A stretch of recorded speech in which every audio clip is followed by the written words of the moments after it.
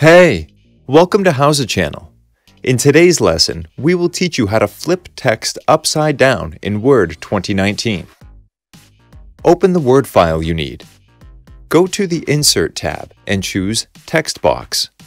Click on Simple Text Box. Paste your text.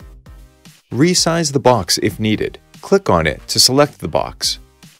Go to Format tab and choose Rotate. Select Flip Vertical. You can also select the box and click on the Rotate icon. Move the mouse pointer to rotate the box.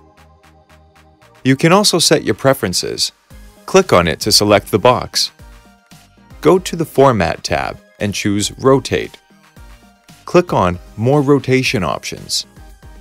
Set the rotation degree to the one you need. Click OK. Thanks for watching the video. Please like it and let us know if you use any of our tips and tricks. Subscribe to our channel. We upload new tutorials every day. See ya!